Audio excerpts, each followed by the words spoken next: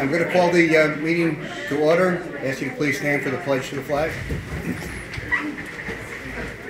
I pledge allegiance to the flag of the United States of America and to the republic for which it stands, one nation, under God, indivisible, with liberty and justice for all. I'd like to ask you to please stand uh, for a moment.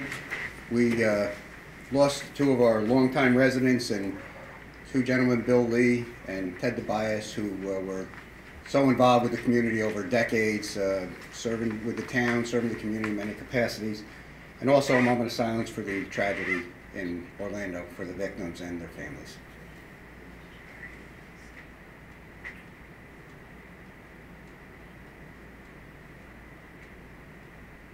Thank you.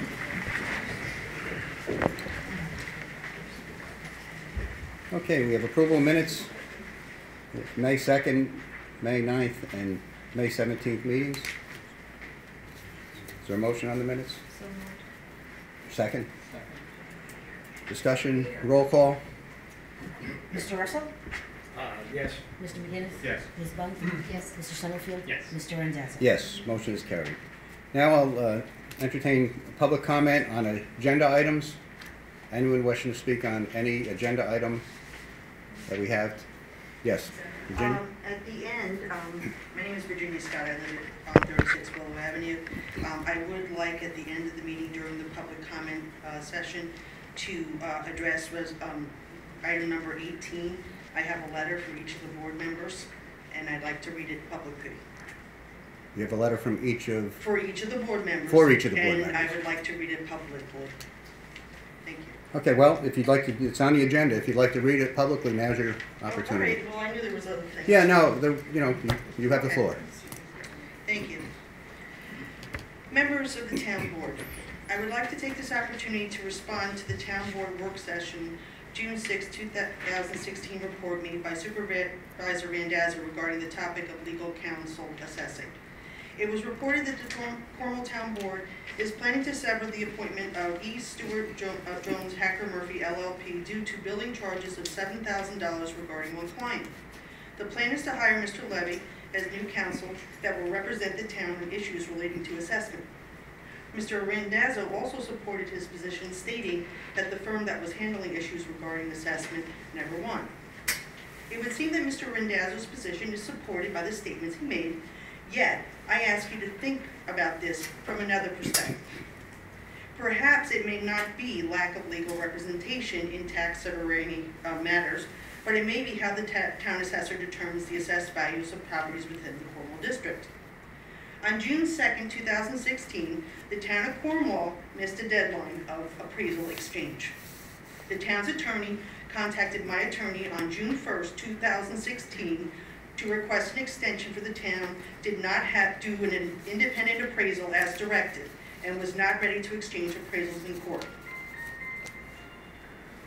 As required, I hired an appraiser and was prepared with my appraisals ready to present in court.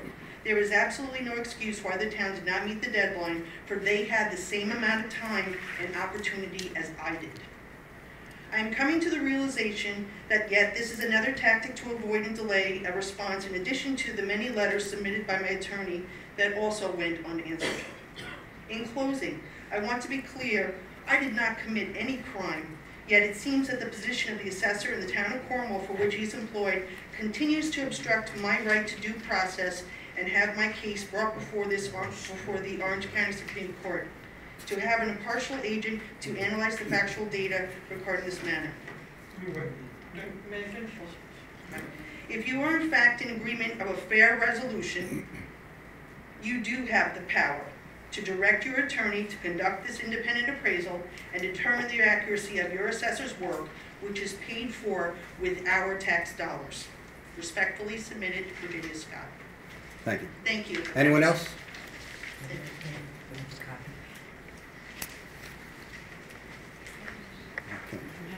Yes, thank you. Thank you. Wasn't sure what. No, that's fine. Thank you. Thank you.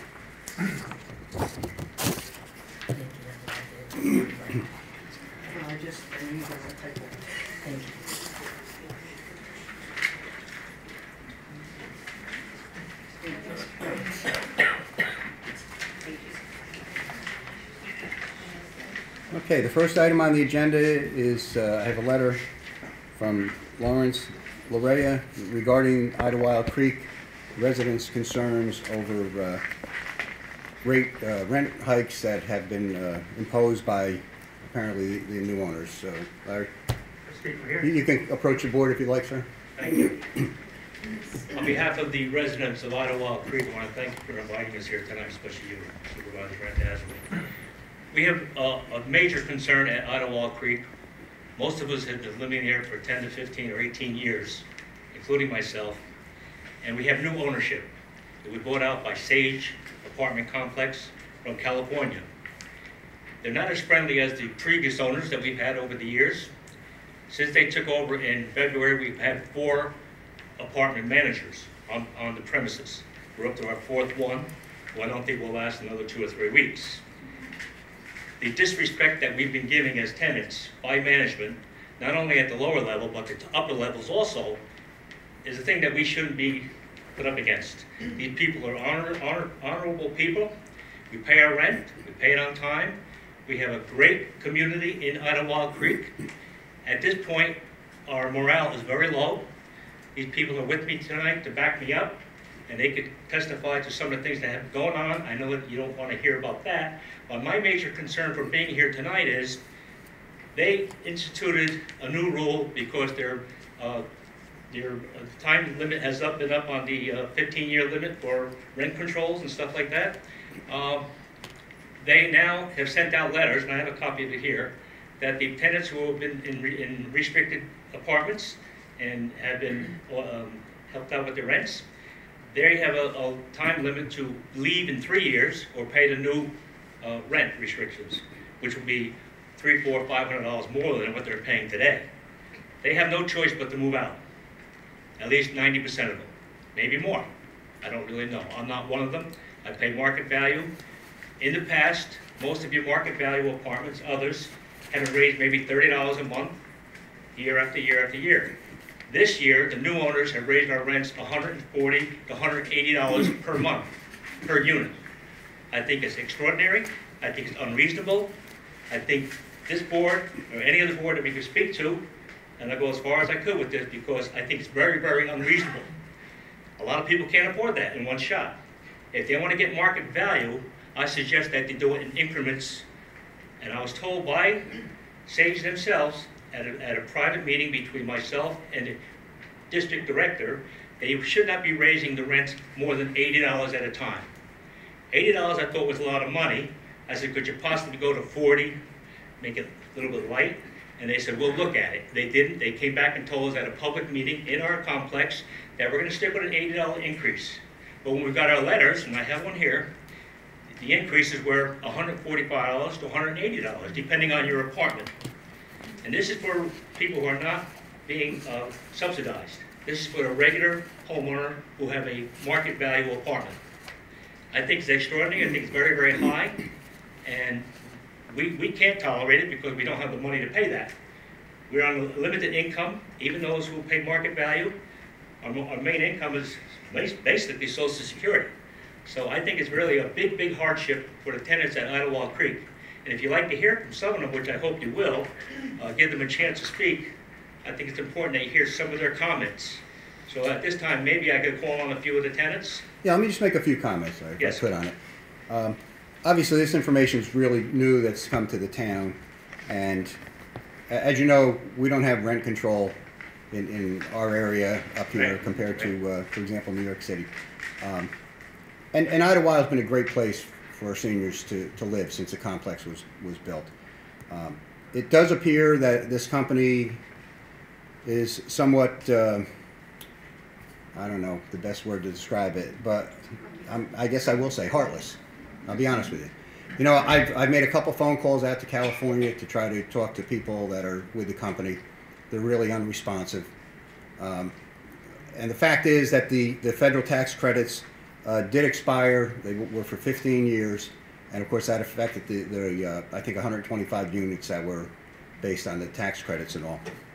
And I, I did get some information from one of the tenants there uh, in a market rent where their, their increase is actually it was gonna be an eleven percent increase, but they came down twenty-five dollars, so it's a nine percent increase. But I think the concern that we do share, certainly uh, as a community, as a board, you know, for our senior citizens, is the fact that reality is that most the residents up there are on a fixed income.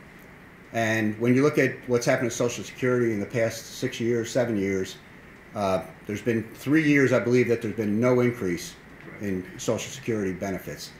And I think it's just unconscionable for this company to come in and take over and start hitting the residents with increases that, for many of them, are going to be beyond their means. There, there's no question.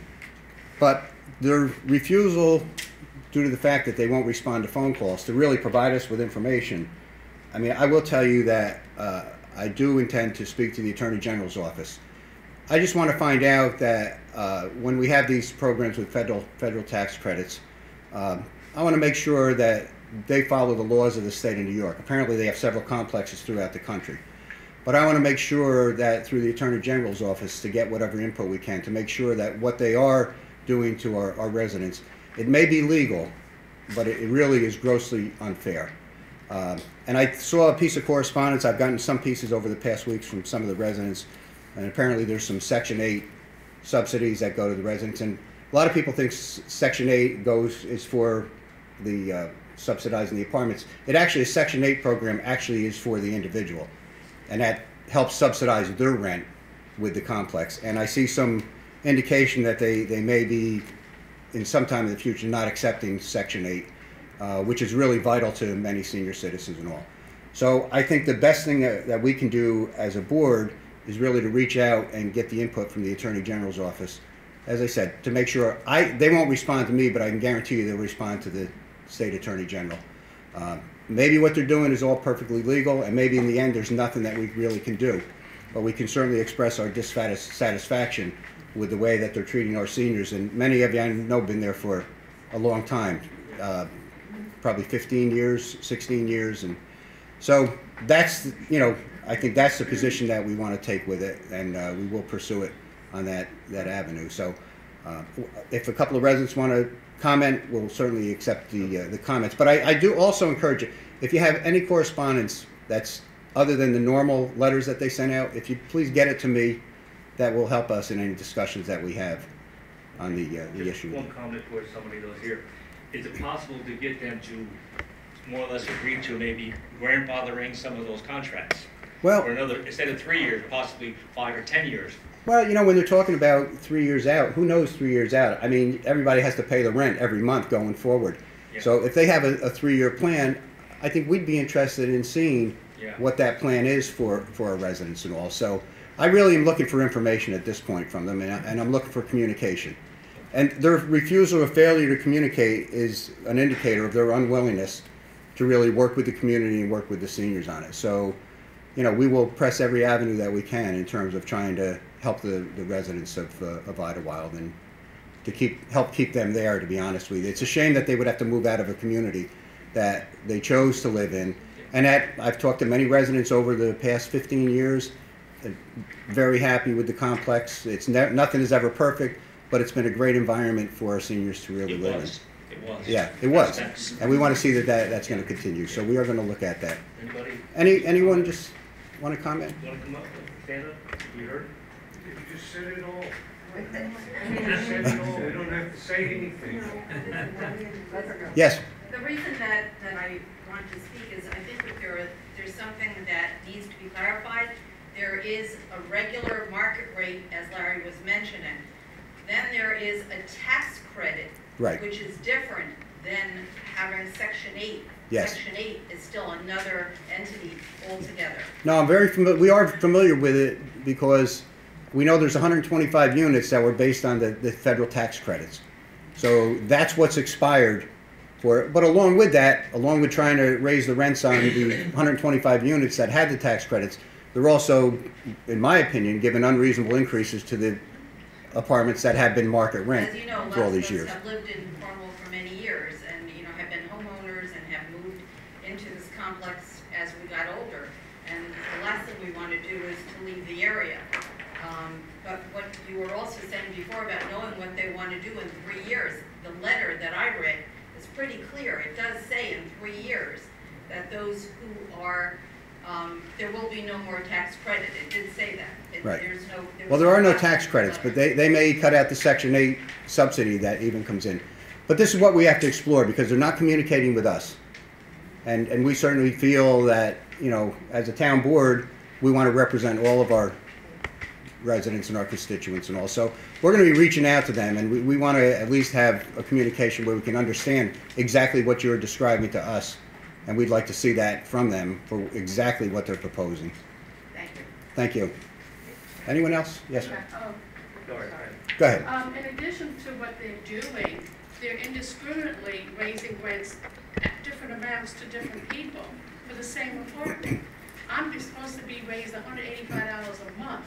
My lease is up December thirty-first. My neighbor, who has the same apartment, got raised ninety dollars. What is the difference? We have the same apartment, they're both market value.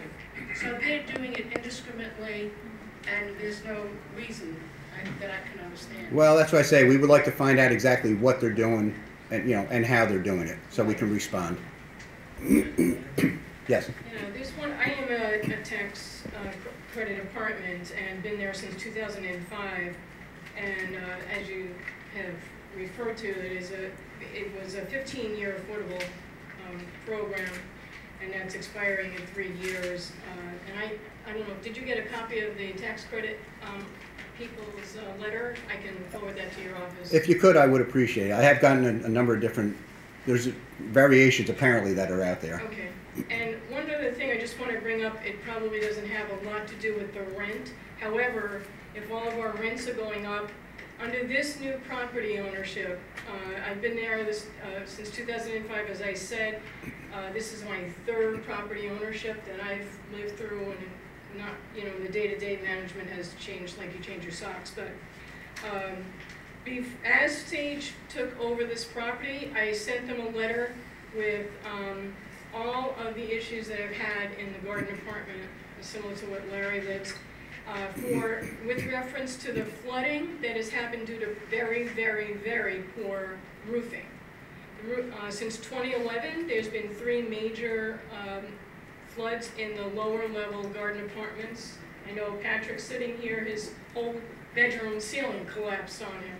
And in my house, the, the other, I'm a Dominican sister, the other, there's eleven Dominican sisters living in our apartment complex. I am one of the youngest and the youngest.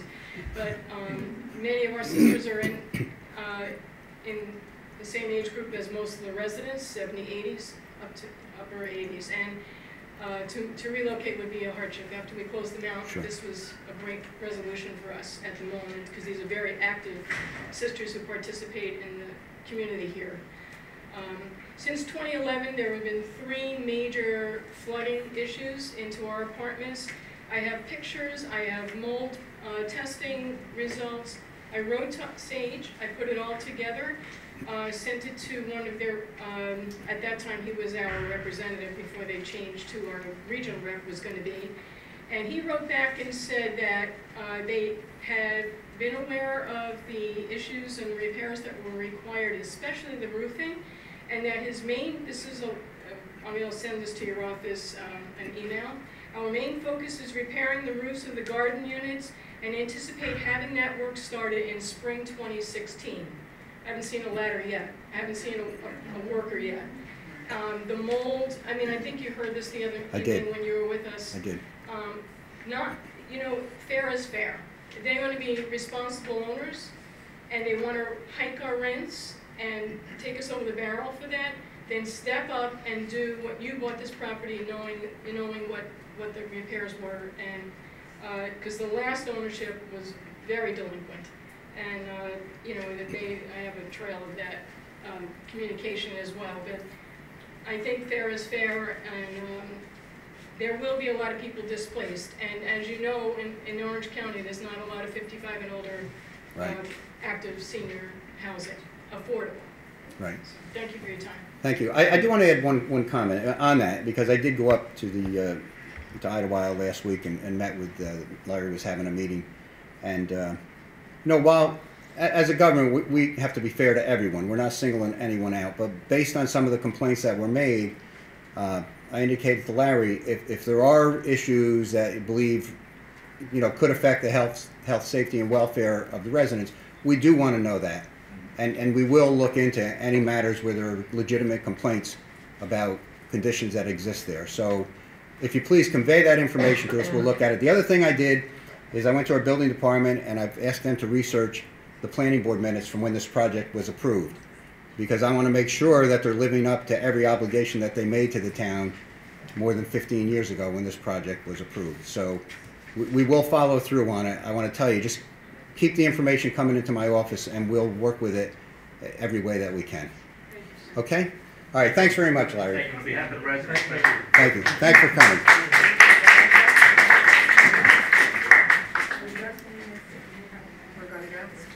Okay, Thank you. thanks very much. Have a good night. I'll take my own ride with me.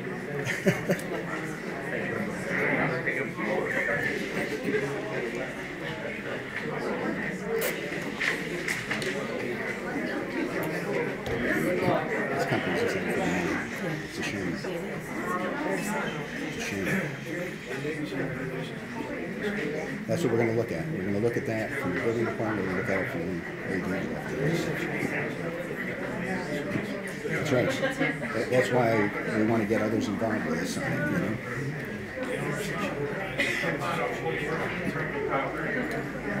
You. Take care, Joe. Good seeing you. Thank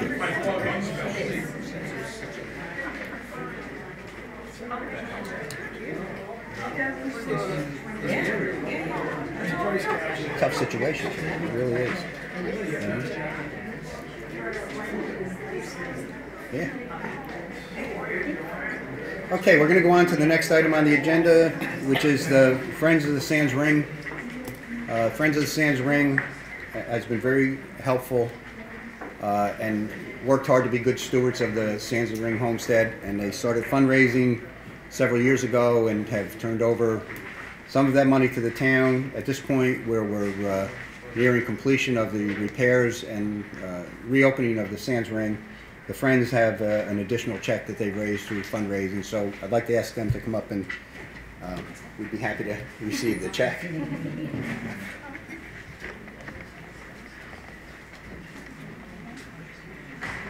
Here's an additional check for ten thousand dollars for the completion of the roof to add to our twelve thousand we already gave.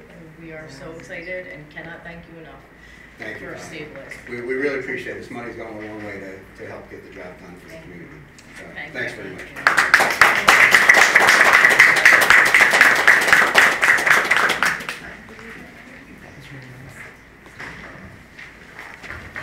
I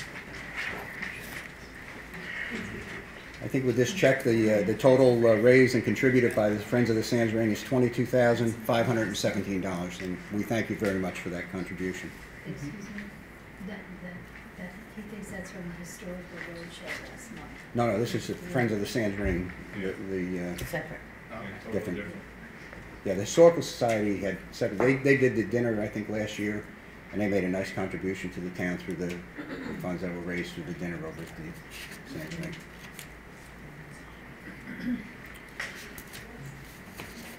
Okay, Solar Liberty Project. Uh, I have a resolution to read. This is the project that the town has been working on for many months in an effort to uh, possibly have a solar system put in that the town could reduce rates for the, uh, the town, and we had the village involved and the library. But in the end, it, it's turned out that uh, we can't be assured of the actual benefits that would come to the community. So I have this resolution. Whereas heretofore the town of Cornwall undertook investigations and negotiations in regard to the potential development of the town's Hollering Road property as a solar facility. Whereas in regard to the same, the town entered a proposal from, entertained a proposal from Solar Liberty and further retained the services of Russell Budd and Daniel Spitzer Esquire. Whereas it appears that it is not in the best interest of the town to pursue said negotiations and said retention of consultants. Now therefore be resolved as follows. That the town board hereby determines that effective immediately pursuant, pursuit of a solar facility agreement with Solar Liberty shall be terminated, and said town consultants are directed to cease all activities in regard to the same. Is there a motion on the resolution? So, Is there a second? Dis- Discussion? Peter, you, you second? Yes, Terry, second. Yeah. Discussion? Roll call? Mr. Russell? Yes. Mr. McGinnis? Yes. Ms. Bunt? Yes. Mr. Summerfield? Yes. Mr. Randazzo? Yes, motion is carried. As many uh, of us know, the uh,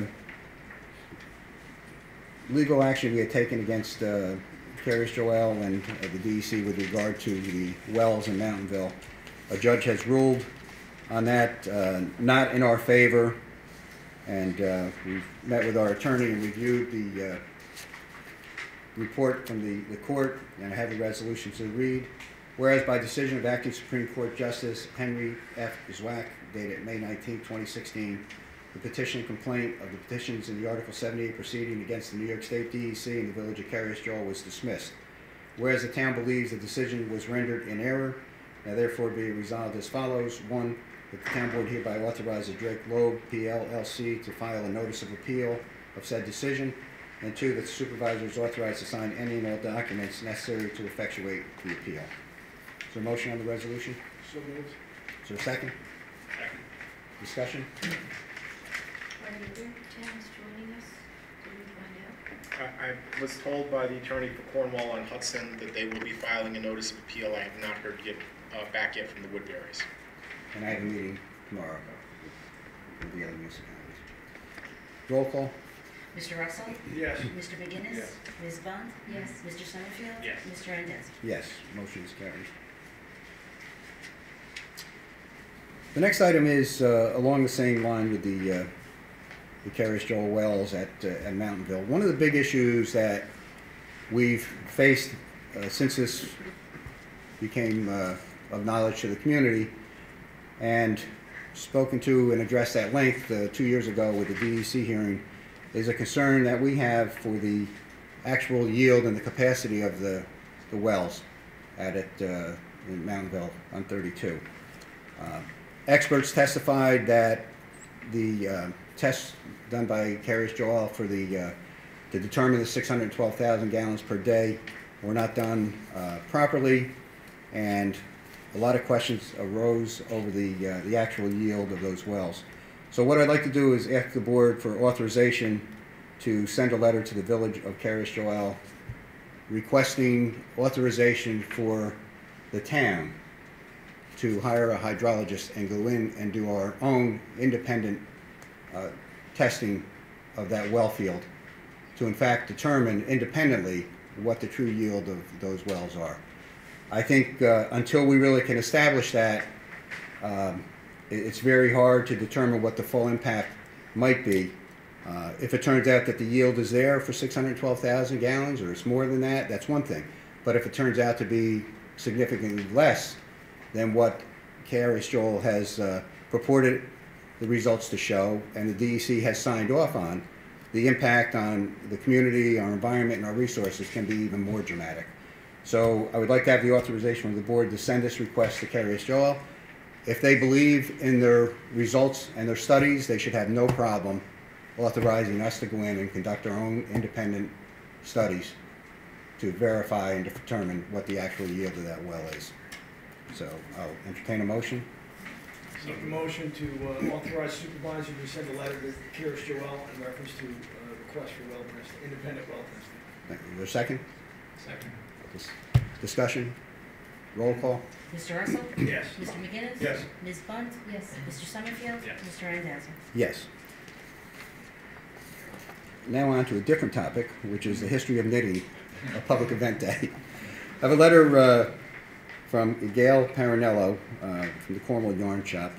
Uh, She'd like to propose uh, and have authorization to hold a uh, worldwide, uh, in in celebration of Worldwide Knit Public Day on Saturday, June 18th. Um, She said in 2005, there were 225 local events around the world. In 2006, about 70 local events. And 2009, there were 751. Over the years, there have been local events in Australia, China, England, really all around the world. This is the first year I've been able to put together an event. It also coincides with the first day of the second annual Hudson Valley Yarn Shop Cruise, which last year brought many new visitors to Cornwall. So she'd like to host the event in the uh, front of the town hall. She has some volunteers that will be there, and it will be from 11 a.m. to 3 p.m. Um, and that she is going to provide the town with uh, an insurance, certificate of insurance. Is there a motion to approve the event? So moved. Is there a second? Second. Discussion? I'm sorry, what was the date? June 18th. Roll call? Mr. Russell? Yes. Mr. McGinnis? Yes. Ms. Bunt? Yes. Mr. Summerfield? Yes. Mr. Randazzo? Yes, motion is carried. Now what I want to do is, we, we have a, uh, a scout who's working on an Eagle project. We actually, we actually have two Eagle Scout projects um, that are being considered. And uh, one of the scouts is here this evening, uh, Brendan Gagno.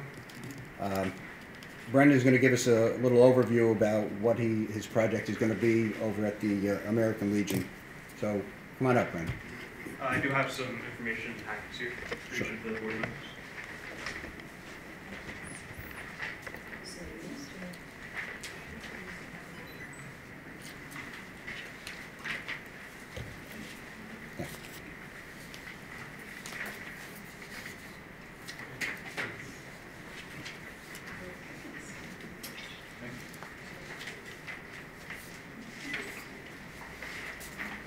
So, thank you for giving me the opportunity to speak here today. My name is, uh, as Mr. Said, I'm a rising senior at CCHS.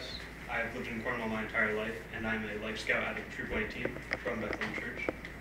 Uh, the proposal I have for you today is a possible Eagle Scout project at, for landscaping and beautification in front of the Legion Hall uh, over near Munger Cottage. I'd like to seek uh, approval for the proposal I have here. It can, uh, the packets in front of you contain a sample of the schedule, a work plan, photos, and a plan of fundraising. Just uh, go through very briefly and very Sure. The, for the work itself, it should take uh, two weekends. Uh, It will take two weekends if it goes according to plan, but there is, uh, I have planned in, uh, or built in extra time for any uh, difficulties that, difficulties that may occur for, um, so any extra time that may be needed, dates may be needed, uh, name, may need to be switched due to either weather or uh, volunteers not being available at the time. For the first weekend, uh, time estimates are based on the fact that we will be working in the mornings and afternoons to avoid the heat during the day.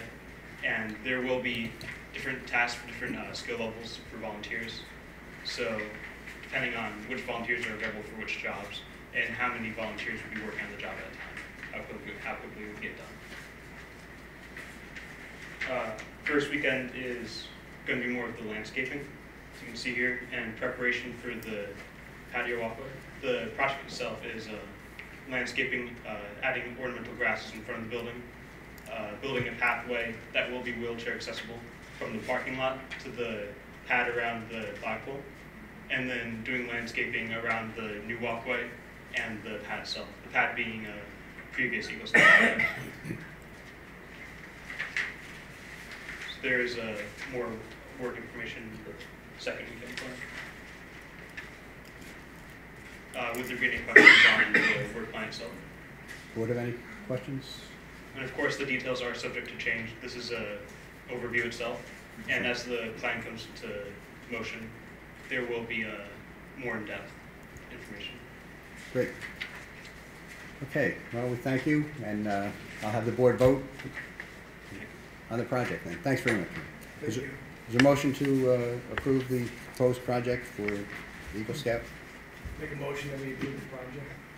Second. Second discussion, roll call? Mr. Russell? Yes. Mr. McGinnis? Yes. Ms. Bunt?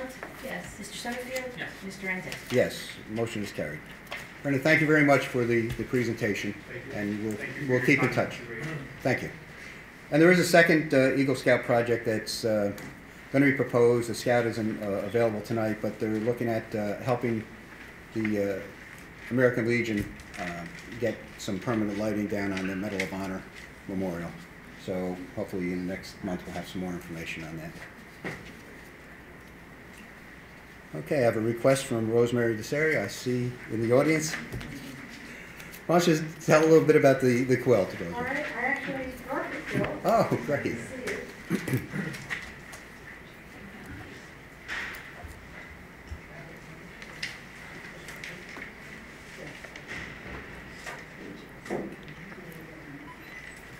So, um, this is a quilt that was uh, done by the quilters of the Hudson Highlands, uh, completed in the um, early 80s. Um, well, We have it sideways okay.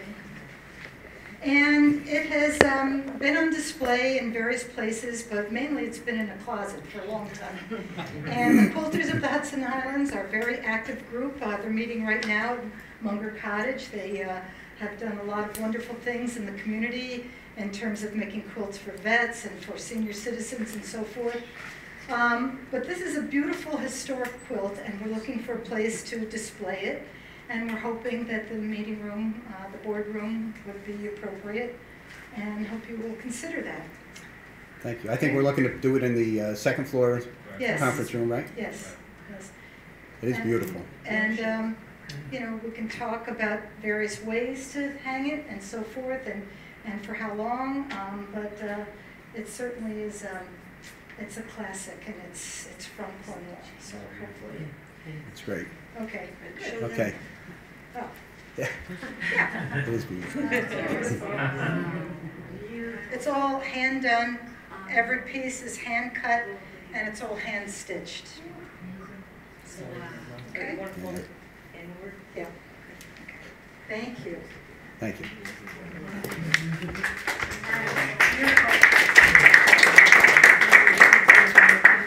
Is there a motion to uh, approve displaying the quilt in the conference room? Is there a second? Second. Discussion? Just, uh, do you have an informational Yes. Think that we can uh, hang I- next to it? Yes, um, I will, uh, bring that, I will, um, print it up. Uh, each block has a historic significance. This was actually used by Governor Mario Cuomo in nineteen eighty-five for his Christmas card. Wow. a picture of this, and it was in um, the New York State I Love New York uh, travel guide in 1986. And so I have a copy of that and written material to, uh, to go with it. Some real history. Thank you. And I, I do think that as part of that, obviously, the town, we don't, the responsibility of, we'll do everything we can to protect it, but Right, we You know. understand, and we'll, and we'll sign a waiver to. to- that's what the the attorney wrote up. But we, we really appreciate having, having that on display, and hopefully residents will come in and be able to take advantage of seeing that, so, thank you. Roll call? All right, Mr. Russell? Yes. Mr. McGinnis? Yes. Ms. Bunt? Yes. Mr. Summerfield? Yes. And Mr. Randazzo? Yes, motion's carried. And we'll say that's subject to signing waiver? Yes.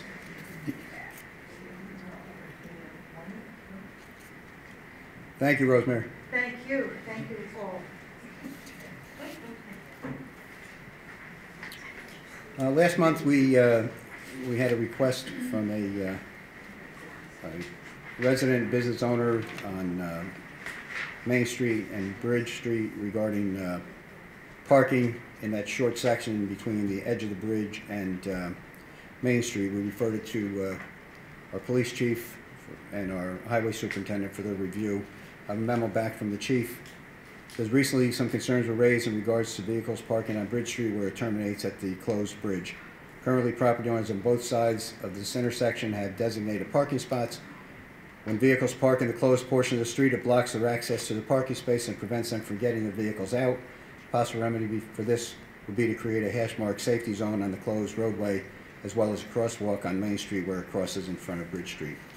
We discussed this at our work session, and uh, if the board is in agreement, uh, we- it'll require a vehicle and traffic uh, amendment.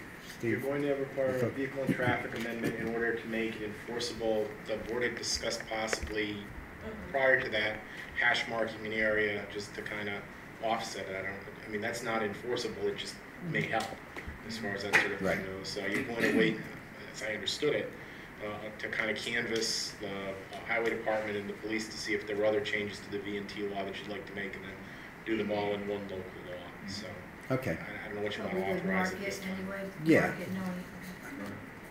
Well, you can just indicate it, but if somebody's there, you, you can't ticket them. right. So we'll, we'll vote to uh, have the area hash marked out in the interim, and then over the next month or two, we'll look at all the V and T, and then do one amendment to the uh, code. So is there a motion to uh, approve the striping of that area to limit parking? Second. Second discussion, roll call. Mr. Russell? Yes. Mr. McGinnis? Yes. Ms. Bunt? Yes. Mr. Summerfield? Yes. Mr. Randazzo? Yes, motion's carried. Uh, Last month, we also had a request from a resident on uh, Broadway asking the board to consider a four-way stop at Broadway and Bridge Street. We referred this to uh, Chief Hazard and uh, Eugene Conley, our highway superintendent. I have a memo from the chief. Recently, a request was made for a stop sign to be placed on Broadway where it intersects with Bridge Street. Currently, traffic on Bridge Street is controlled by a stop sign where it intersects with Broadway. At this time, the traffic in this particular area doesn't warrant a stop sign to be placed on Broadway at Bridge Street. So unless the board has any other views, I will convey that to the, uh, to the resident.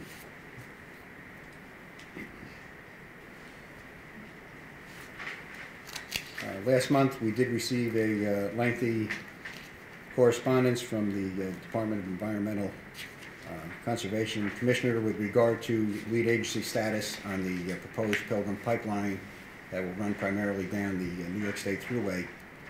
And there were other municipalities that asked to be uh, lead agency, and this basically explains the DEC's position on lead agency on this project. And the bottom line is that uh, they're going to stick with their original uh, proposal, which was that it would be co-lead agency between the New York State DEC and the Thruway Authority. So I want to note that just for the file.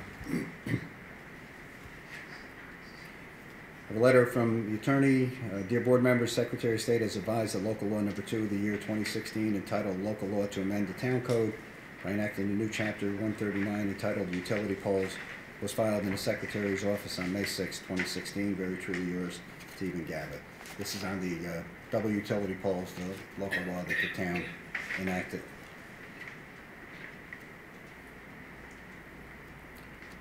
A resolution uh, regarding CSEA retiree vision agreement, whereas the town board of the town of Cornwall has before it a memorandum of agreement between the town and CSEA benefit fund. Whereas the memorandum of agreement provides for a retiree vision plan for any member of CSEA bargaining unit who retires and meets the criteria outlined in the memorandum of understanding. And whereas this agreement shall be in effect June first, twenty sixteen, now therefore be resolved as follows. One, the supervisor is hereby authorized to execute the memo, uh, memorandum uh, annexed here to on behalf of the town of Cornwall, and two, that the memorandum be made available to all employees meeting the criteria. This is uh, at no expense to the town, the town's not involved, the retirees pay directly to the CSEA, but we have to just uh, agree to that being offered. So is there a motion on the resolution? For a second? Second. Discussion? Roll call? Mr. Russell? Yes. Mr. McGinnis? Yes. Ms. Bunt? Yes. Mr. Summerfield? Yes. Mr. Randazzo? Yes, motion is carried. Next is uh, budget adjustments. Uh, we- We've had the audit uh, for the town, which was uh, concluded in the spring, and I have a number of uh, budget transfers and adjustments. Uh, The unfortunate part, as a result of the audit, uh, it came out that um, several of the, uh, about five of the road projects over the past several years that were done by the town, sometimes receiving funding from uh, other uh, government agencies, uh, the town share was never really properly funded. It was paid for just by taking money from one fund, using it to pay for roads. So to the tune of about three hundred thousand dollars, uh, we have to adjust the budget due to, due from various funds.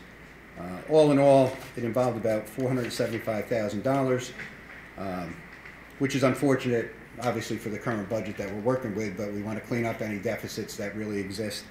So after these transfers are made, we'll be left with uh, probably two smaller uh, uh, deficits in the two of the smaller sewer districts.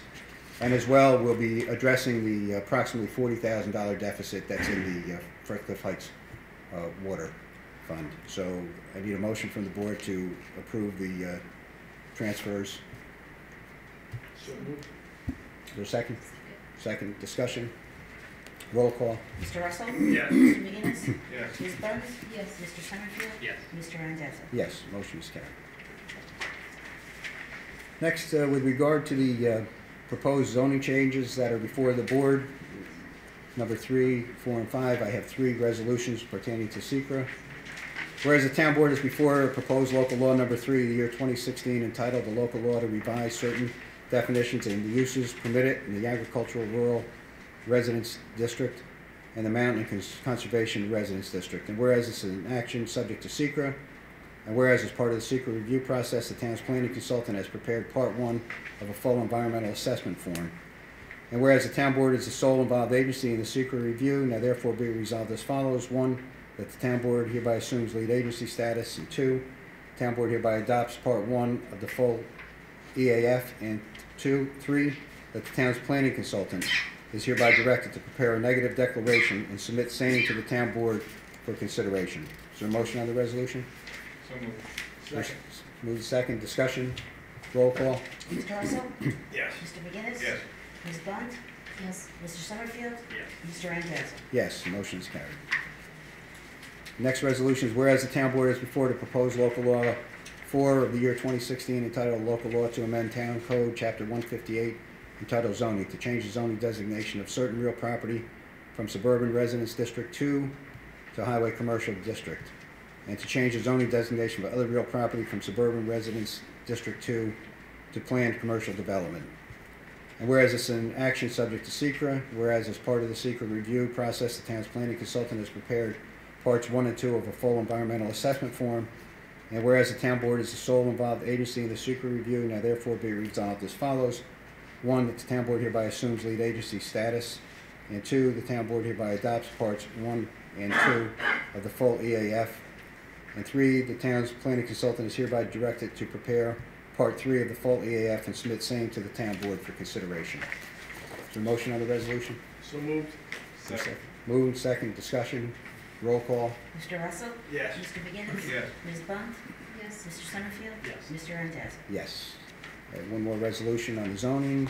Whereas the town board has before proposed local law number five of the year 2016 entitled Local Law to Amend Town Code, Chapter 158 entitled Zoning, to add certain uses to the uses permitted in the planned residential development district as alternatives to the planned adult communities. And whereas this is an action subject to SEQRA, and whereas as part of the SEQRA review process, the town's planning consultant has prepared parts one and two of a full environmental assessment form.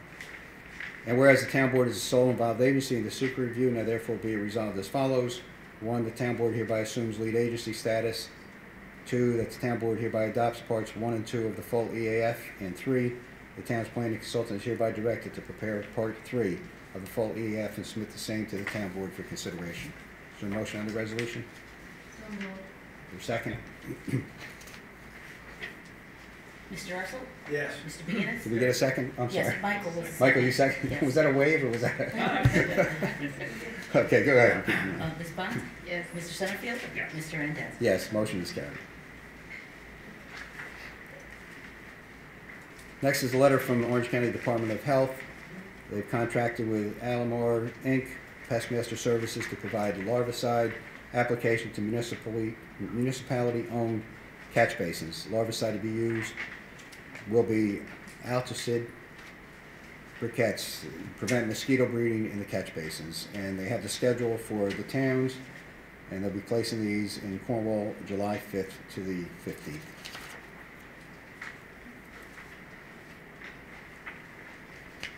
Uh, Next item is Music in the Park. Uh, I'm happy to say this is uh, sponsored by the Chamber.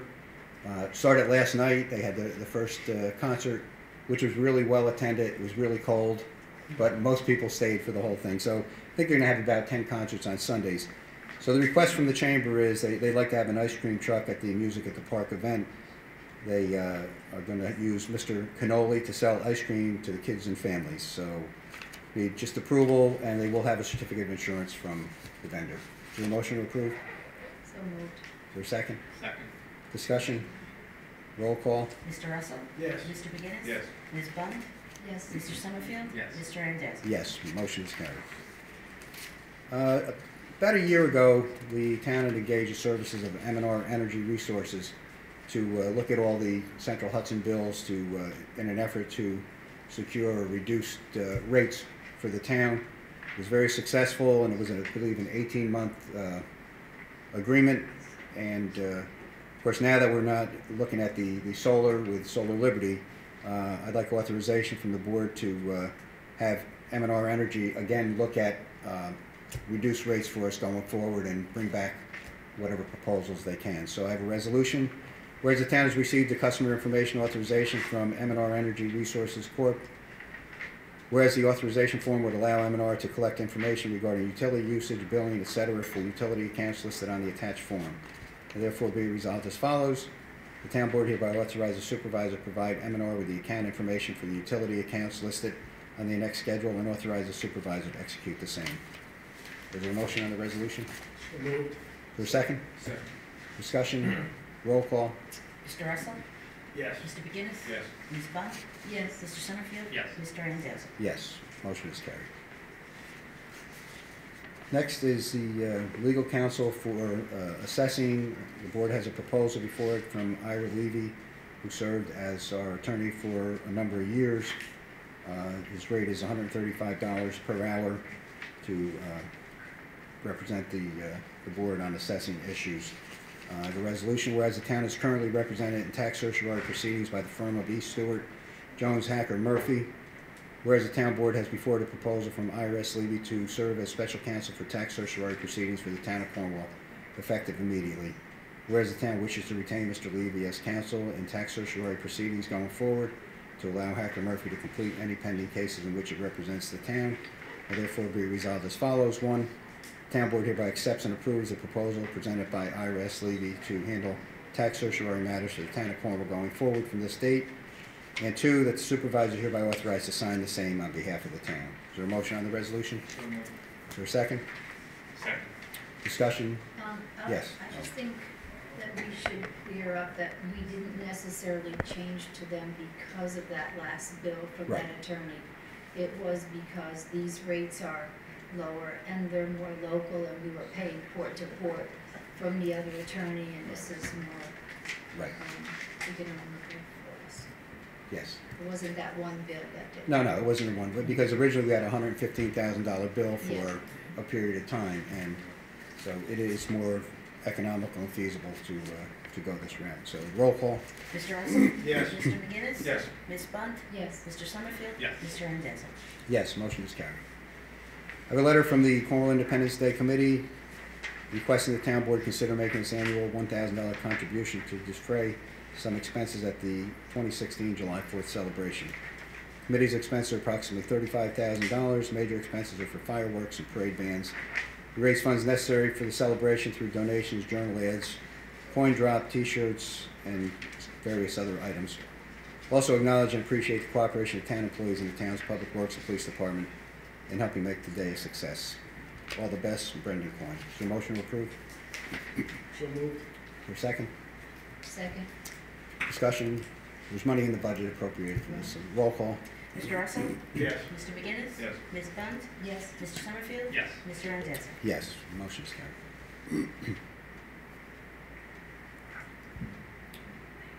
Okay, next item is the farmer's market, updated rules and regulations. Uh, Councilman Russell and I met with uh, uh, Karen and Mary Beth regarding the uh, rules and regs for the farmer's market. And the board has reviewed the rules and regs, weren't too many changes, few dates. Um, I think basically right now, we're looking to operate the farmer's market starting, going forward, it'll be starting on May 1st through um, October 31st for the outdoor market. Right now, it's every Wednesday from uh, noon to six in front of the town hall. And we will be looking at the possibility of one Saturday a month, depending on vendors' availability and, you know, other things that we can in- integrate into it. Uh, We certainly want to grow the market and expand it. We think it's good for the community. There, there's, has been a lot of interest in it, so uh, I think that uh, this is an opportunity for us to really, uh, hopefully take it to the next level. We've been doing well with vendors, and I think as we can expand it, um, people seem to, uh, to like it, and it's working out very well. So is there, I'll read the resolution on the uh, rules and regs. Whereas the town of Cornwall conducts a farmer's market of local farmers and related food vendors, whereas it is necessary and appropriate to update existing rules and regulations, whereas the town board has before a proposed set of rules and regulations for the town farmer's market, a copy of which is attached here too. Now therefore be resolved as follows. One, that the town board hereby approves and adopts the revised and updated rules and regulations for the town of Cornwall's farmer's market. including the application form and fees set forth therein, and two, that a copy of the farmers market rules and regulations shall be kept on file in the town clerk's office and shall be made available to all vendors participating in the town farmers market. Is there a motion to approve the new rules and regs? So moved. Moved by Peter, second by Michael. Discussion, roll call. Mr. Russell? Yes. Mr. McGinnis? Yes. Ms. Bunt? Yes. Mr. Summerfield? Yes. Mr. Randazzo? Yes, motion is carried. I just want to add while we're on that subject, we, we have had for a few months a letter from uh, St. Luke's Cornwall Hospital wanting to participate possibly once a month, providing health information uh, to residents. And in our discussions, they have been affiliated with the Orange County Health Department in various uh, ways and degrees. So I think the board discussed at our work session and just by motion authorizing St. Luke's Cornwall to uh, participate in the farmer's market. Is there a motion? So moved. Is there a second? Discussion? And we're gonna check to make sure they do, um, are still a part of the health program. They, they actually met with the health department and now they're actually working in conjunction with the New York State Health Department also. So their programs are based on, as per the health department. So we're looking at healthy foods, health information. It- And then you can buy a cookie on the way out, we're hoping to justify that. So That's our new vendor next week. Roll call. Mr. Russell? Yes. Mr. McGinnis? Yes. Ms. Bunt? Yes. Mr. Summerfield? Yes. Mr. Randazzo? Yes, motion is carried. Just want to note for the record, as probably many subscribers to Time Warner Cable has found out, that uh, Charter Communications has uh, basically combined with and taken over uh, Time Warner Cable. It's going to go under the uh, name of Spectrum, and uh, they say that they're going to bring good things to uh, to their customers. So we'll just note that for the record, and we'll uh, we'll we'll watch as they go forward.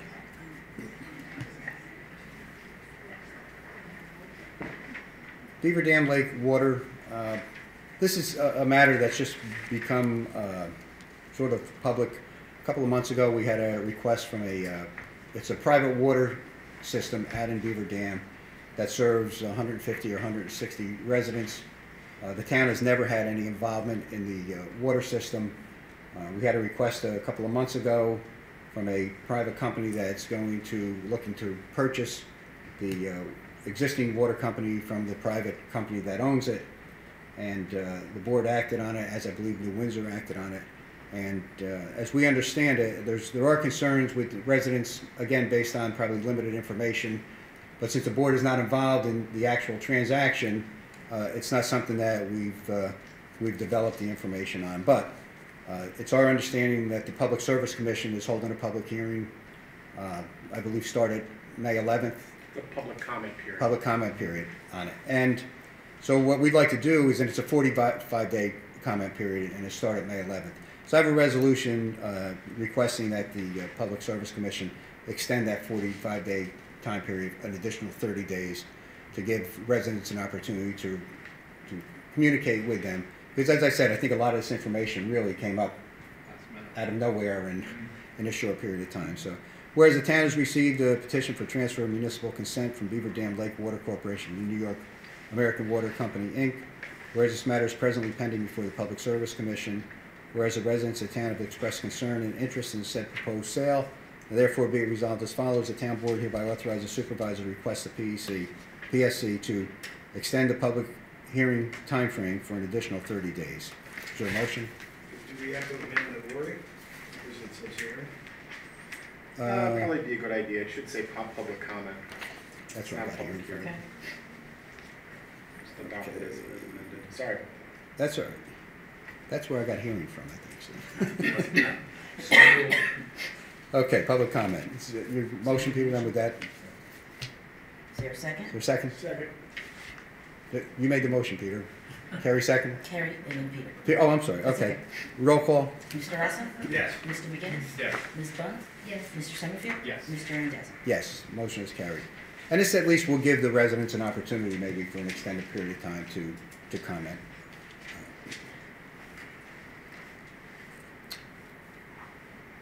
Okay.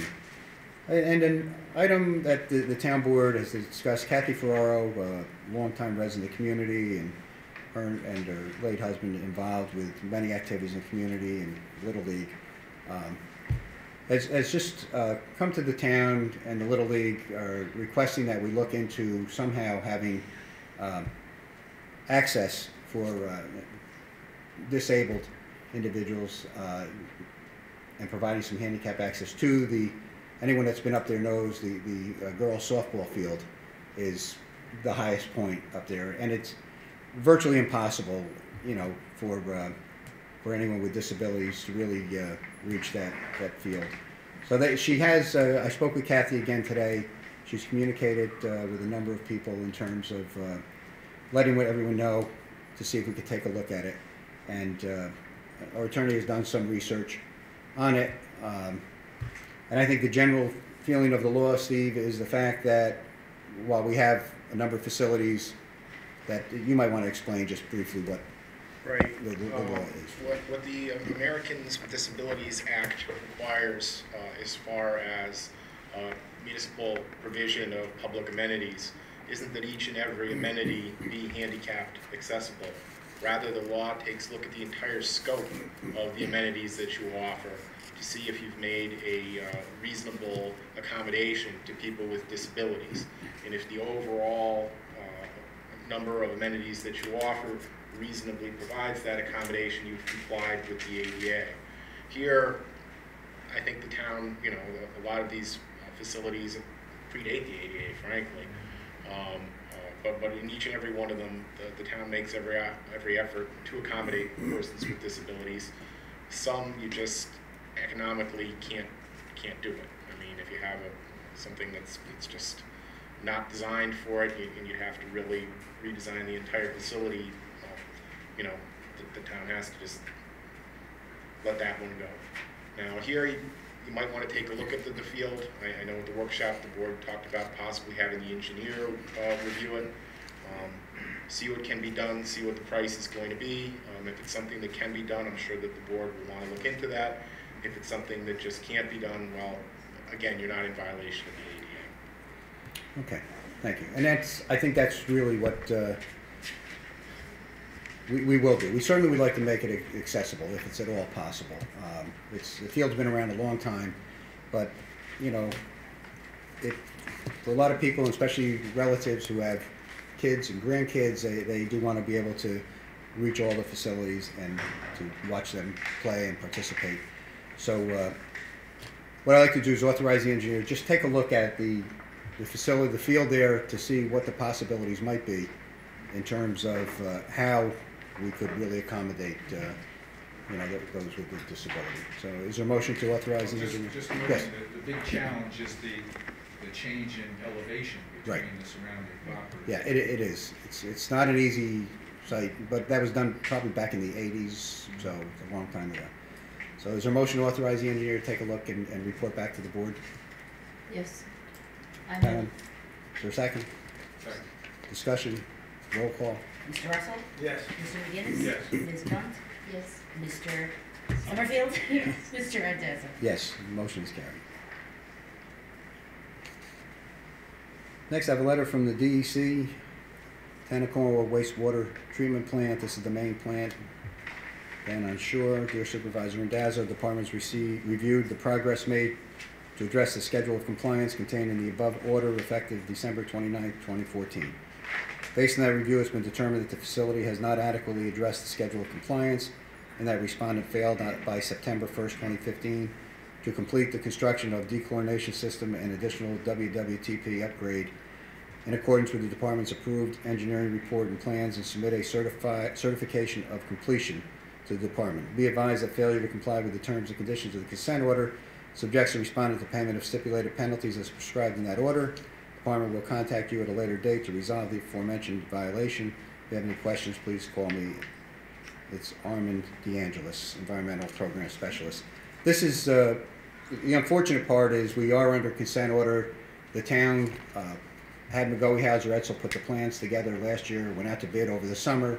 The bids came in in September, and they were nearly double what it was expected that the project would cost.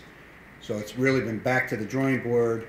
At the same time, we've been working with EFC in Albany about the uh, special financing that we hope to get for the project, and they work hand in hand with DEC. So this really has progressed uh, to a point now that uh, we're hoping the engineer will be able to put together, update the uh, drawings and specifications so we can get out to bid again sometime uh, over the summer.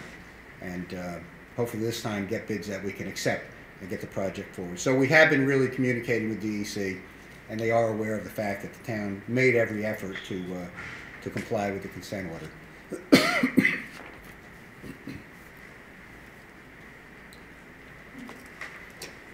Okay, uh, New Tech Recycling. This is a proposal that we have uh, from a company in Connecticut. Basically, it's for the uh, electronics in our recycling program. Um, The, pretty much the same in terms of the material, what we collect and all, but the, the proposal that's, this part of it that's attractive us is that this company will actually put a roll-off uh, container down at our highway garage, so that when highway sanitation pick up the electronics, we can drop it into this roll-off, and when necessary, the company comes and takes it away. So we don't have to take the electronics anywhere. Um, So it's pretty much the same arrangement. I had the uh, highway uh, department check with, on the company to make sure that all the certifications and qualifications were all met, and they've informed me that they are. So I read the resolution. Whereas the town board has received the attached e-waste collection and recycling agreement between the town of Cornwall and New Tech Recycling, Inc. and Housatonic Resources Recovery Authority for the collection and disposal of materials outlined in the agreement. Whereas the highway superintendent has recommended that the town engage NRI and HRRA for these services, therefore be resolved as follows, that the town board hereby agrees to enter into the annexed agreement with NRI and HRR and adopts the provisions therein. And two, the town board hereby authorizes the supervisor to execute the same and all documents necessary to effectuate the terms therein. Is there a motion on the resolution? Is there a second? Discussion? It's no cost to the town. Pardon? It's no cost to the No, town. they will, if there, if there are any items where there may be a charge, it's the same as we would have had before, but they basically take, well, no additional charge. Roll call? Mr. Russell? Yes. Mr. McGinnis? Yes. Ms. Bunt? Yes. Mr. Summerfield? Yes. Mr. Randazzo? Yes, motion is carried.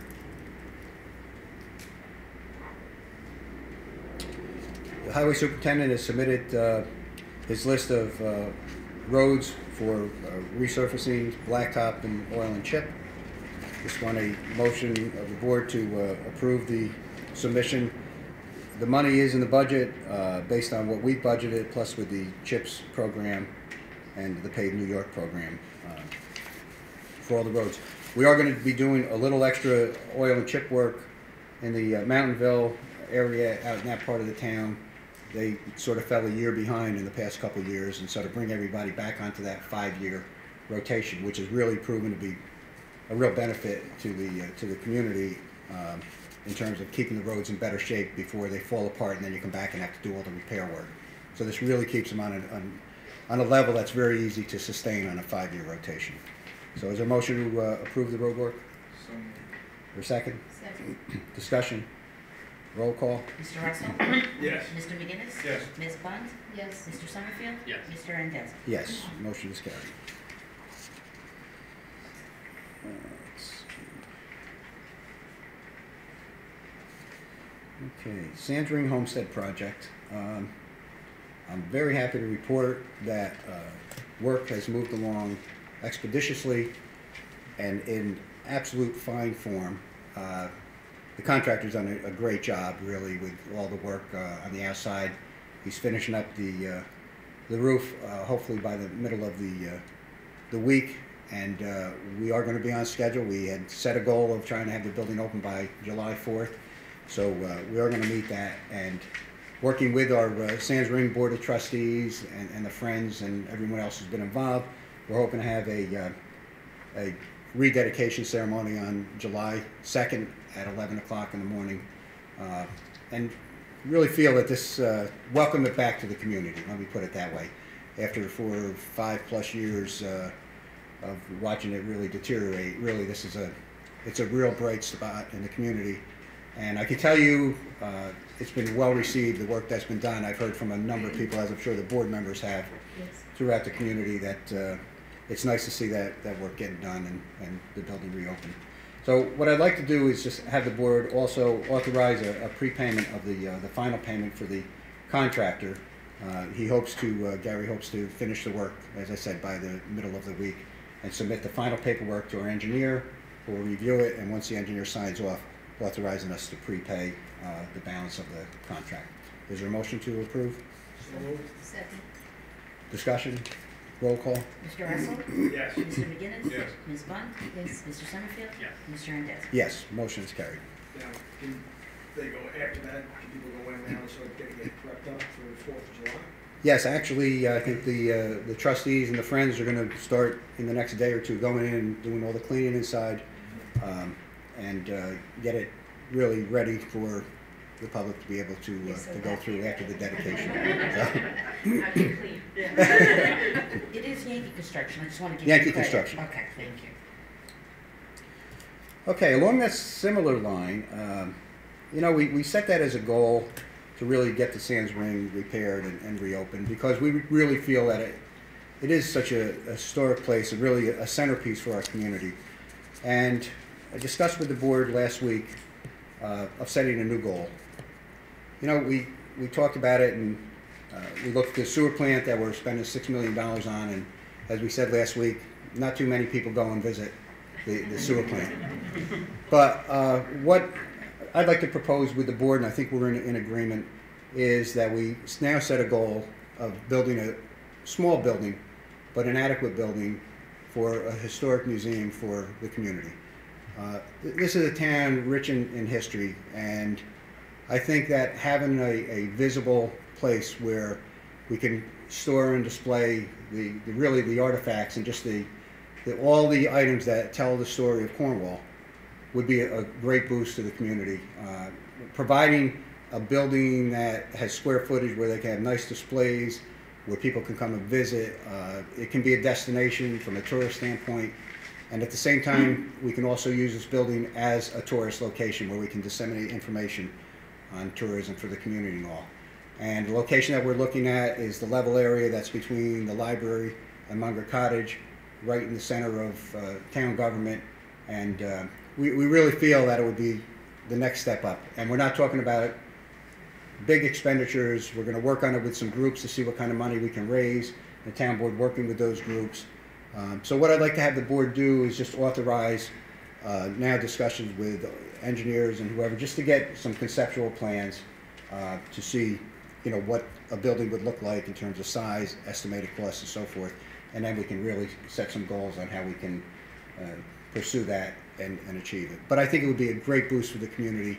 Go hand in hand with Sands Ring when you can walk into a building that's 250 or 60 years old and then go across the street and look at all the historic artifacts that, uh, that we have. I mean, we- right now, the uh, Historical Society has one room in Town Hall. Most people don't even know it's there, to be honest with you. I've talked to so many people, and they like say, where is the, the museum?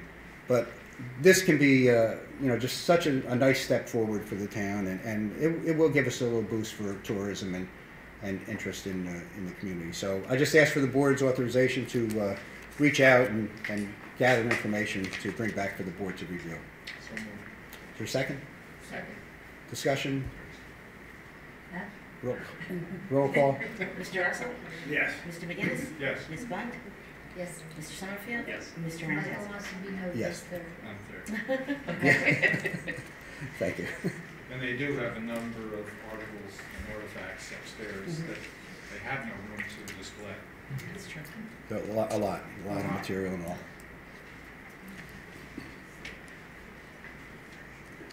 Okay, um, I have a uh, resolution regarding uh, subdivision of land. Uh, This is required to uh, performance security.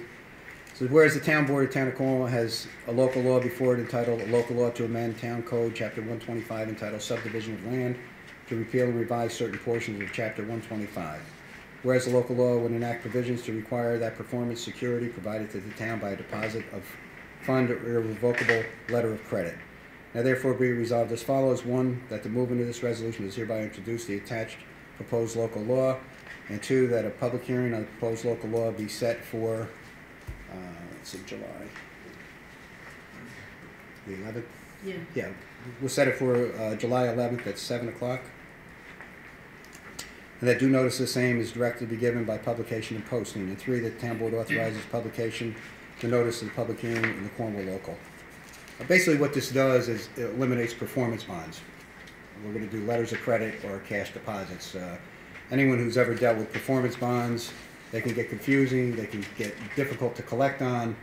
And uh, so to eliminate that problem, it seems to be the trend that we'll be looking for letters of credit and cash if this law is adopted. Is there a motion on the uh, local law? So moved. Resolution rather? Yes. Second?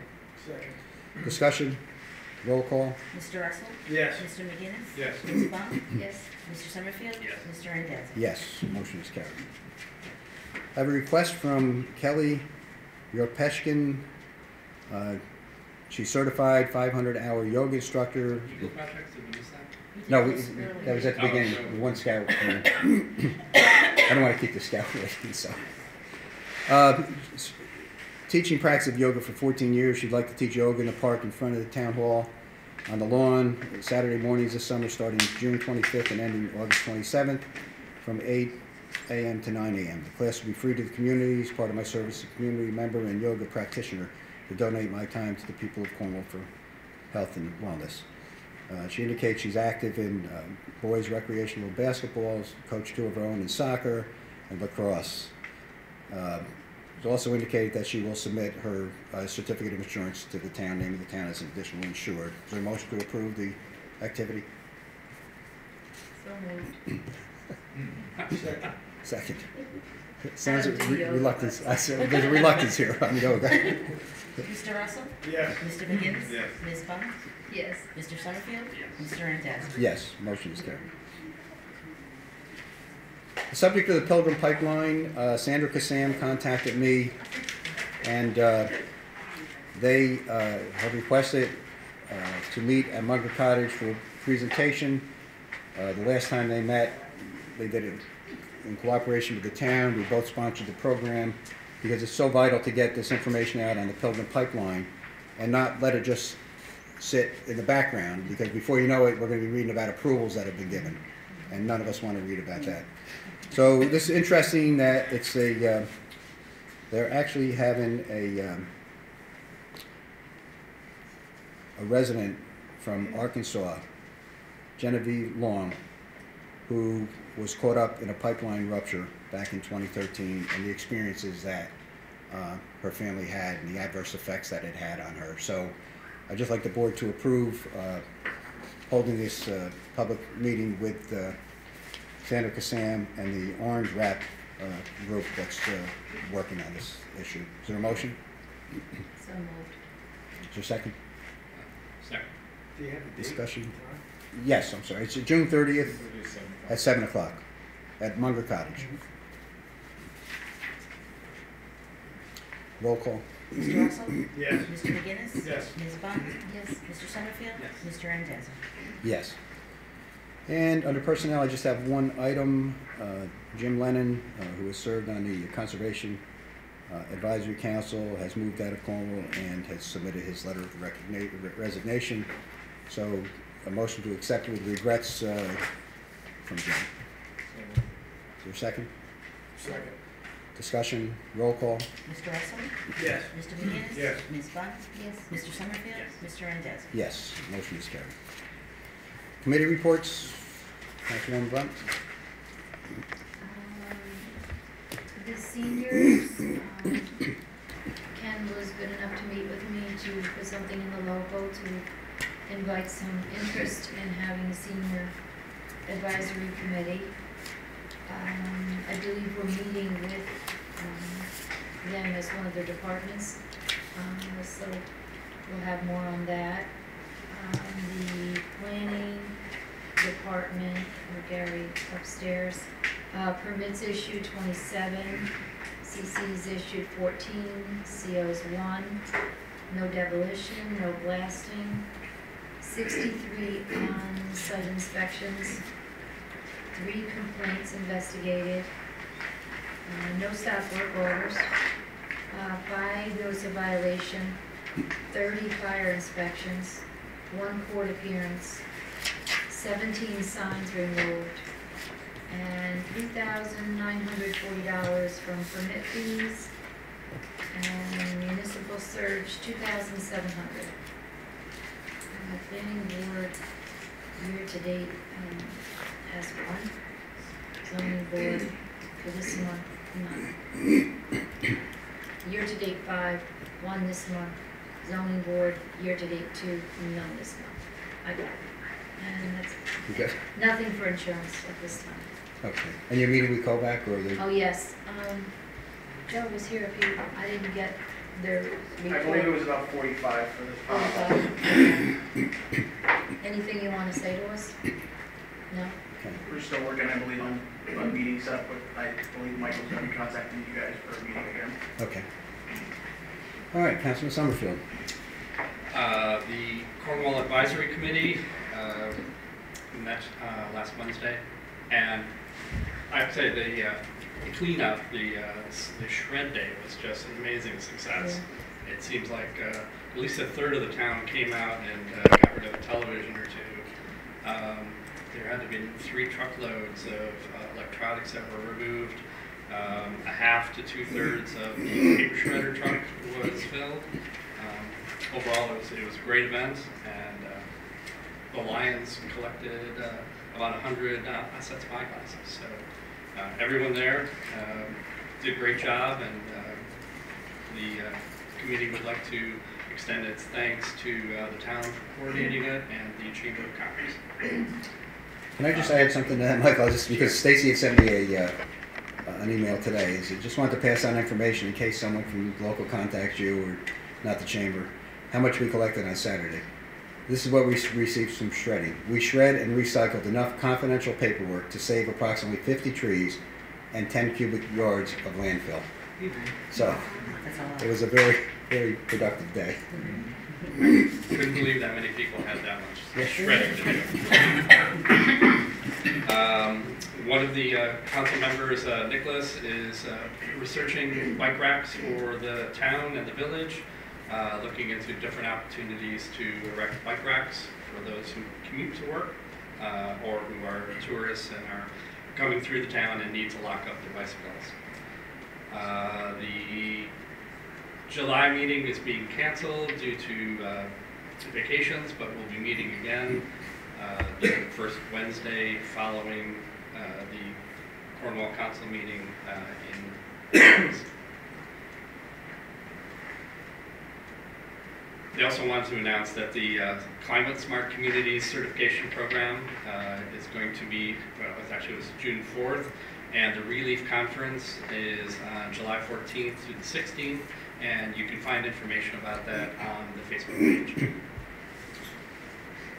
The Economic Development Committee, um, I was on vacation when they met, so I, I didn't have the benefit of being there, uh, but I have seen the, uh, the slideshow of the intended projects that the uh, Economic Development Committee is going to uh, propose to the town at a special meeting on Wednesday, June 29th at 7:30, 7 o'clock at Munger Cottage.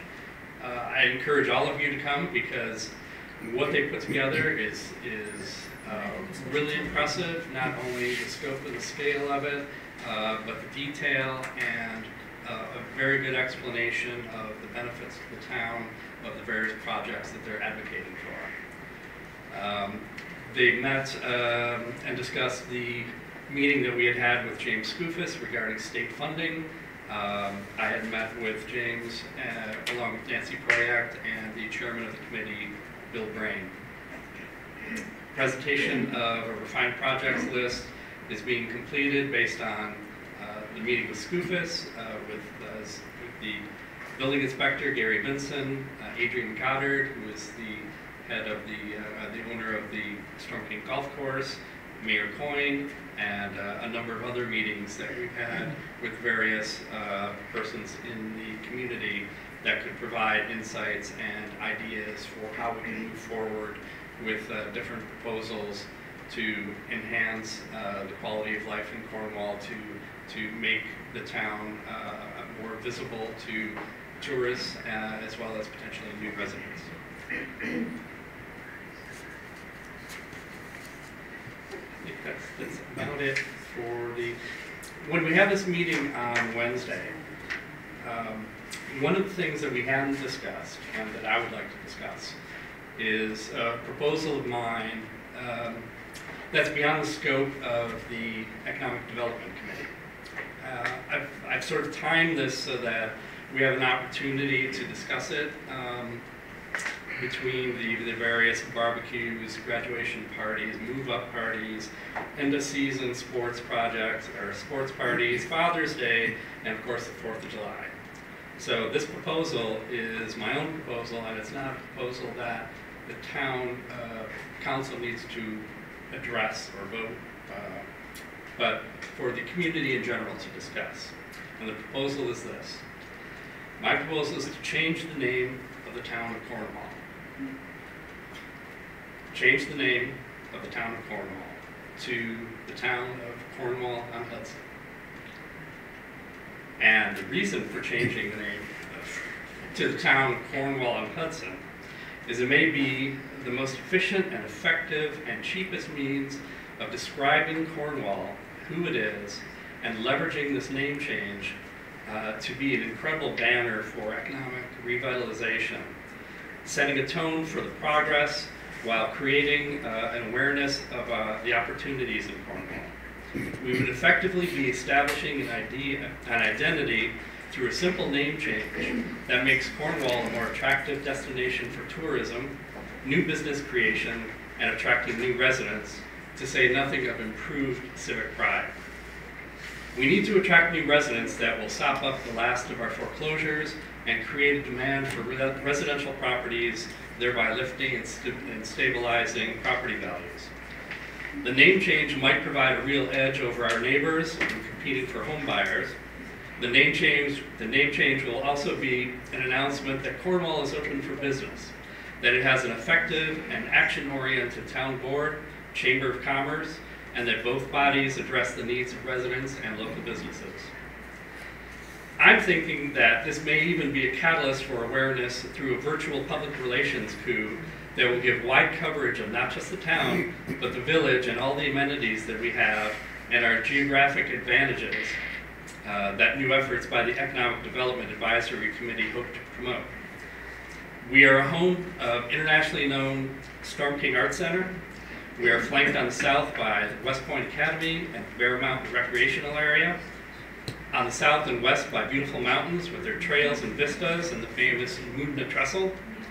Further west by Woodbury Common. On the north by endless Hudson Valley events and attractions, not the least of which is Bethel Woods, but perhaps in the future, Legoland and a casino. And of course, on the right, we are flanked by the beautiful Hudson River. We are served by Metro North, and we have easy access to air via to many destinations via Stewart International Airport that boasts the longest international runway in the country. We would receive free press coverage that can spotlight the current efforts of the Economic Development Advisory Committee, Chamber of Commerce, Cornwall Foundation, Cornwall Alliance, Garden Club, Friends of the Library, Friends of Sands Ring Homestead, as will our school board uh, addressing uh, the issues of improved uh, education opportunities for our students, all working together to make Cornwall the best it can be. People will finally learn that this is a, that we are a community to be envied, do you know that the town of Cornwall has almost the same amount of frontage on the Hudson River as the village? Just past the gates on 218 on Storm King Highway, as you leave the village going south, is the town line. The overlook on Storm King Highway is part of the town, and the town continues a mile further down the mountain, almost to the Washington Gate in the town of Highlands. Of 932 towns in New York State, 50, 544 have villages. 178 of those villages have the same name as the town. Local examples are Woodbury, Chester, Fishkill, Goshen, Rhinebeck. So my proposal isn't exactly unique. Dozens more villages have names related to their towns. Shouldn't we all agree that what we need to do that we need to do what's best for the town of Cornwall, no matter how controversial it may seem on the face or to a person individually.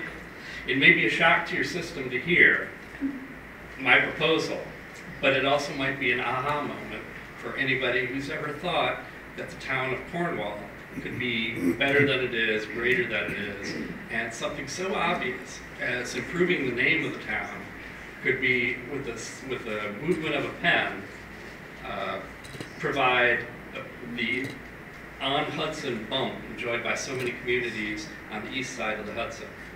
Regardless of your first reaction, it's important that the proposal be considered for the best interests of the town and village. As the Economic Development Advisory Committee puts their final touches on their recommendations for the town, including pursuing funding for pocket parks, revitalization of downtown, creating inviting entry signage at the major town borders on Route 9, Route 32, and 94, their job becomes easier with the adoption of this proposal. What truly matters is the success of Cornwall, the continued progress towards a better quality of life, lower taxes, higher property values, and a nurturing of the involved and active community. And that's why I'm the town, that's why I'm on the town board, and that's why I could not, not share this idea with you. I've been sitting on it for months. I've really been waiting for an opportunity to develop the idea, but, you know, what it came down to is presenting it to the town itself, uh, not to a, a narrow board or even the, even the town board, uh, because it involves everybody's opinion, everybody's identity. And I think that discussing going forward at the upcoming economic development special meeting uh, and upcoming town board meetings in, in the, uh, in the different forums on Facebook, that the opportunity to change the town's name from Town of Cornwall to the Town of Cornwall-on-Hudson would be very advantageous, and I look forward to all the feedback that, uh, that will result. Thank you. I, I will add one thing to, uh, apparently you have, uh, the Economic Development Committee is meeting on the 29th.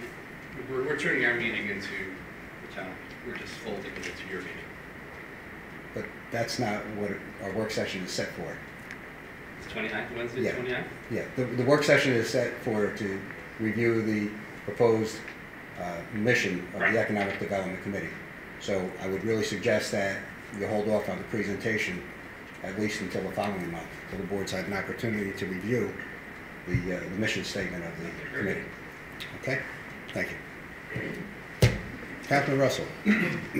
Uh, The Recreation Department, just a short report, but just a reminder that uh, summer registration is still available for the following. uh, Summer playground, kinder camp, tennis, soccer, basketball, track, twilight golf, kayaking, pool passes, and swim lessons. That's it for the Recreation Department. For the Police Department, I just have uh, statistical data. Uh, Calls for service, 822. Miles driven, this is all from May 2016, sorry. Uh, Miles driven, 9,329. There were 33 motor motor vehicle accidents reported, 20 uh, residential or business alarms, 23 ambulance requests, 18 animal complaints, 20 house checks, and 18 assists for other agencies. And for KMO, for the sewer system, for Shore Road, uh, routine maintenance, and all uh, parameters were within permit limits. And for First Cliff, the same, it was routine maintenance, and again, all uh, measured parameters were were within permit limits. That's the report for- Thank you. Councilman McGinnis? Um, For the highway department, uh, for the past month, they did string trim, uh, string trimming, that's weed whacking in town and country. Uh, Blacktop patchwork townwide, assisted sanitation department, catch basin repair on Alfred Street, curb repair on Warren Court, clean vehicles, cleaned around the highway garage, put out barrels and picked up trash for parade. Memorial Day parade. Uh, Mechanical work is needed and uh, sweeper townwide. The assessor's office, the data collectors completed their uh, work today. Good. Uh, Tyler Technologies, our uh, contractor that we've hired for the reval, are doing the commercial properties. Uh, Data entry is ongoing, and Ron is checking the uh, information as it comes into his office and is entered. That's all I have. Um, I just want to add uh, one thing on the single stream recycling that the town started last uh, Monday. Uh, I think it's all good news all the way around. I think they, they had Oh, a, yeah. exact, the feedback has been great. I mean, the residents are very happy to be able to go to one assigned day and everything going into one container. And it's easy. And it, it's so much easier. And I, I would tell you that we really express our appreciation to Eugene Conley and the uh, employees of, of the department for the, the plan that they put together to really put this thing in and the implementation of it that we did. And so they feel good. I talked to a few of the, the men who were working on it. They really feel good. They feel it's, it's a good thing for the town. And it's going to increase our recycling, I think, considerably, which will help reduce the, the garbage, literally, and it will save us some money, I think, in that sense. So we appreciate that very much. So I have warrant number six. Is there a motion to approve? So moved. Second. Discussion, roll call. Mr. Russell? Yes. Mr. McGinnis? Yes. Ms. Bond? Yes. Mr. Summerfield? Yes. Mr. Randazzo? Yes, motion is carried. Public comment? Anyone from the public wishing to comment? Yes. Hi, my name is Carla Castillo. I live at 69 Hasbrook Avenue. Um, Regarding the item 15, larviciding the municipal catch basins, um, I wanted to recommend that the town see if uh, Allamore has green larvicide options. Many of these large companies should, uh, should have options that are sustainable with uh, chemicals that are less polluting and yet get the job done. Um, uh, regarding the farmer's market, um, so if I understood correctly, it sounds that it's now going to be weekly Wednesdays, but only monthly Saturdays. Um, was that correct? Well, right now, it's weekly on Wednesdays, and we may go to a Saturday depending on the availability of the vendors. And so that's vendor dependent because typically Saturday is a much better day for farmer's markets. Well, that depends. That, that depends. So we're, we're looking at it, and we're open to suggestions, but we are looking at it. Okay. Um, my other comment was about the Town Historic Museum. I was wondering if the town had considered um, placing it on the land of Sands Ring Homestead somewhere on that site itself, because it would make it even easier walk. Well, I can tell you, I, I've thought about this for probably two years. Uh, I originally thought of placing it over by the Sands Ring Homestead, but the more that I looked at it, the more that I felt that it would detract from the setting that the Sands Ring has and compress the site too much. So that's why, looking at this other site, it's nearby, it's walking distance, and it's another destination for us. So, thank you. Um, and then my last comment is around, um, recycling. Um, I'd like to thank Kathy Nicholas, and Kathy and Nicholas, who's not here tonight, for joining me and educating at least fifty to sixty-five, uh, residents who came um, there were many more who came to the Cornwall Goes Green uh, Recycling Day, um, but we specifically spoke to individual folks, um, informed them about um, the single stream recycling. There were a number of folks who did not know that it was happening, so it was good for them to learn about it. And um, I prepared a sheet that had information on the back on other things that you could recycle in addition to what can be recycled on the single stream day, like scrap metal, hazardous materials, um, reminding people about where prescription drugs could be sent. And one of the incentives on the back was um, trying to encourage people to increase the town's recycling rate to 38% at minimum, because that would save the town annually $50 $57,000 in disposal costs. And if we were able to save, uh, to increase the recycling rate to 67%, it could um, uh, save the town $172,000 annually in disposal costs. So hopefully Cornwall will, will take up that challenge. Thank you. Thank you. Anyone else wishing to comment? Hearing no one, is there a motion to adjourn? A second? All in favor? Opposed? Motion is carried. Thank you very get much. scared there for a minute, we were gonna adjourn. Excuse me. Um, Yes. When this is over, I want, I'm from Advance Automotive, I'm Janet Floria. Yes. I want to talk to the board, everybody. So when, can I have that opportunity? You can have that Did you say- opportunity right now. I can have that opportunity now? You certainly can. Okay, so I would like to bring some paperwork. Can I bring the paperwork Sure. up also? Okay, great. have a, I look like a young girl, I remember from years ago, Gloria. They're- mm-hmm. they're- If you're gonna do further proceedings, you should really have a resolution reopening the meeting so that you can continue. If you just handed something out, that's fine, but if we're gonna continue, you, you really, you Where should I adjourn. put my paper? Did- Did they voted on adjourning, right? Yes, we Yeah, did. so if you wanna do, you- which is fine, just make a motion to continue. Oh, I don't, It's I'm an supervisor. attorney, I don't know to do, sorry. You want me to do that? Yeah. You wanna come next month? You have the Uh, opportunity when it's here. Uh, I would like to do it now, because we should get it over. You know what? We're gonna reopen the meeting, okay? I'll entertain a motion to reopen the meeting. I move to open the meeting, reopen the meeting. Your second? All in favor? Aye. Motion is carried. Yes. Do you wanna give your name to the, Oh, yes, I'm Jane Gloria, I'm from Advance on Vote. Janet Tom Gloria? Gloria is my husband, yes, we have a business. Number thirty-two. And that, the reason why I'm here actually is because, um, I want to present my side and I don't have somebody saying something in the background or, you know, you don't see me as a person or my husband, 'cause I don't think I ever met you I don't think I ever met you. I before. may We have we met never met before, right, but I know who, whatever, I know some of the families, I don't know. Um, but as far as like Pam, this shouldn't have went this far at all. I mean, I've been a, uh, I'm a resident and I'm a taxpayer. I pay for my business Mhm. and I pay for my residence, Mhm. so I'm twice a taxpayer. So, um, Pam had said something, she made the error and then put the error on us, blamed us for her error for that check. She sent the check, she meant to pay us, but that didn't happen.